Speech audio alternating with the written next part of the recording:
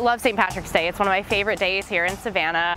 Where else can you go where you get to see old friends and meet new friends. One of my favorite things about St. Patrick's Day in Savannah is all the people that it brings to the city. Having been in Savannah for over 20 years now, I've been able to, to see how much the, the festivities have grown over the years. Um, this year I'm actually going to be on a float for Oatland Island Wildlife Center. It'll be my first time participating.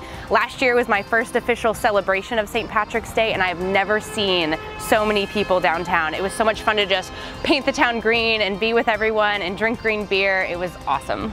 So I was born and raised in Savannah and it's sort of been our tradition every year to set up our uh, chairs and our tables and get our party started in front of the Pirates House every year and we look forward to it. I grew up here in Savannah and I've been celebrating St. Patrick's Day for as long as I remember. I love that there are so many events that are available that locals as well as visitors to our area can pick and choose. And every year it just keeps getting better and better.